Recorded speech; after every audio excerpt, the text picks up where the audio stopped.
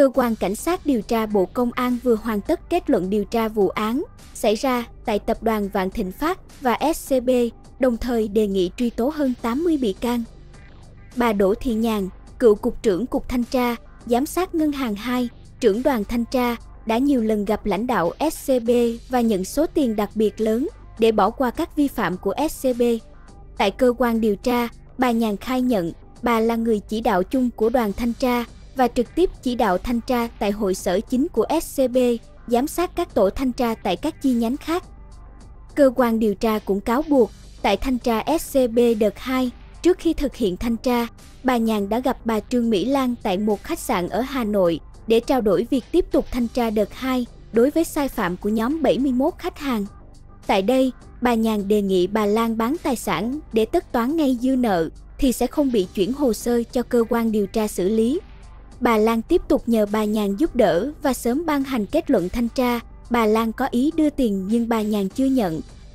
Những việc làm trên, bà Nhàn thừa nhận việc thu hẹp phạm vi, thời kỳ thanh tra để SCB và khách hàng tất toán đối với khoản vay phát sinh trước ngày 30 tháng 6 năm 2017 và đoàn thanh tra không tiến hành thanh tra nguồn tiền trả nợ nên không phát hiện các sai phạm của SCB trong việc cho vay mới để trả nợ cũ và không kiến nghị chuyển cơ quan điều tra.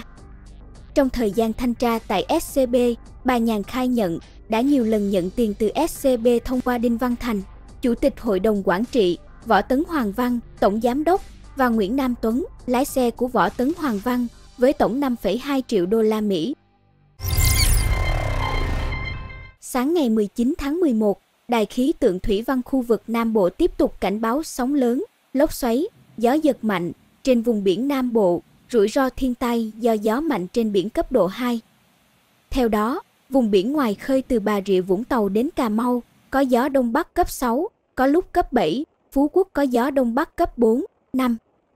Từ đêm ngày 19 đến đêm ngày 20 tháng 11, vùng biển từ Bà Rịa Vũng Tàu đến Cà Mau, Cà Mau đến Kiên Giang, bao gồm Phú Quốc, Vịnh Thái Lan và khu vực Nam Biển Đông, bao gồm vùng biển quần đảo Trường Sa, có mưa rào và rải rác có dông. Trong mưa dông khả năng xảy ra lốc xoáy và gió giật mạnh. Dự báo, tàu thuyền và các hoạt động khác tại các vùng biển phía Nam đều có nguy cơ cao chịu ảnh hưởng bởi thời tiết mưa dông, sóng lớn, lốc xoáy và gió giật mạnh. Sau khi lập nhóm và chọn bài hát trình diễn trong công diễn 1, 30 chị đẹp bắt đầu hành trình luyện tập và cùng nhau sống tại nhà chung. Ở buổi tiệc tối, lần đầu tiên, 30 nữ nghệ sĩ trải lòng về những câu chuyện chưa bao giờ kể. Theo đó, Lưu Hương Giang và Vân Hugo tiết lộ từng bị bạo lực học đường, Diệp Lâm Anh mắc phải căn bệnh trầm cảm cười. Diệp Lâm Anh cho biết, biểu hiện của trầm cảm cười chính là khi đối mặt với những khó khăn của thế giới xung quanh, mình luôn muốn mình mạnh mẽ và vui. Tuy nhiên, khi đối diện với chính mình, mọi thứ đều ngược lại hoàn toàn.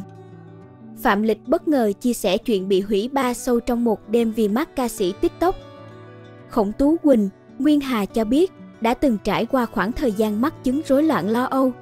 Phương Vi với nỗi ám ảnh về vóc dáng và sợ bị người khác chụp hình, nhấn mạnh khi tham gia chương trình này, các chị đẹp sẽ vượt qua hết những nỗi sợ và chứng minh người phụ nữ sau 30 tuổi rất mạnh mẽ. Sau khi nghe các câu chuyện, ca sĩ Mỹ Linh đã an ủi các chị đẹp đàn em và động viên, đời vẫn đẹp nên hãy vui tươi lên. Trước khi bước vào công diễn 1, 30 chị đẹp thực hiện thử thách tập luyện để giành quyền ưu tiên trong công diễn chính thức.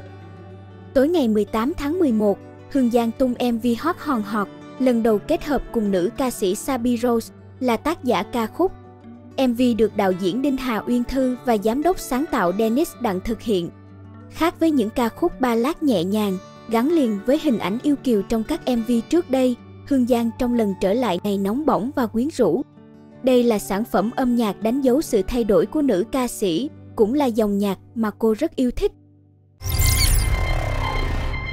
Sáng ngày 19 tháng 11, ông Trần Đăng Khoa, Chủ tịch Ủy ban Nhân dân xã Nam Thanh, huyện Nam Đàn cho biết đã tìm thấy thi thể ba cha con bị lật thuyền trên đập rào băng.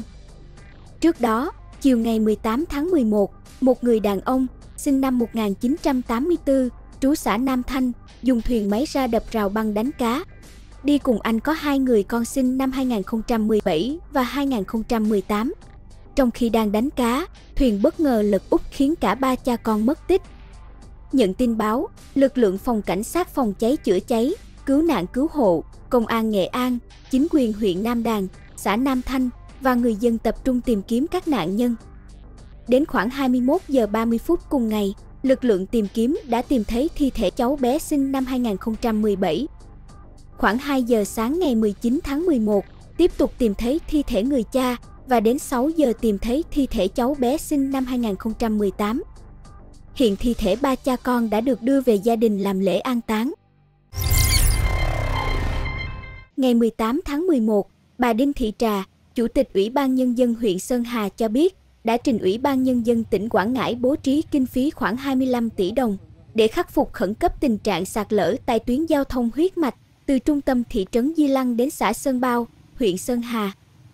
Theo bà Đinh Thị Trà, do ảnh hưởng mưa lớn những ngày qua đã khiến cho tuyến giao thông do huyện quản lý từ Di Lăng đi hồ thủy lợi nước trong, đoạn qua xã Sơn Bao bị sạt lở nặng ở nhiều vị trí, gây tê liệt giao thông.